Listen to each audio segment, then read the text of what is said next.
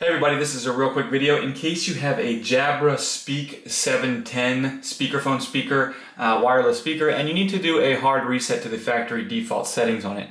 Now you're going to want to do this for one of two reasons. The first one is troubleshooting. If you're having any issues with this speaker not connecting to Bluetooth or not syncing with your device or the app or anything like that, um, not pairing properly, or if it keeps disconnecting, not responding, any kind of bugs like that can very often be fixed with a factory reset. Now, you'll need to set everything up again because the pairing list, the settings will all be deleted off of it, and that's the second reason you might want to do this. If for whatever reason you're setting this up on a new device or something, and you just want to get it back to the way it was when it came out of the box so you can set it up new, we can go ahead and do this really easily. All you need to do on this speakerphone is just come in and you're going to press the answer call button and the end call buttons both simultaneously for eight seconds. And basically you will just keep holding it until you actually hear the speaker will say factory reset.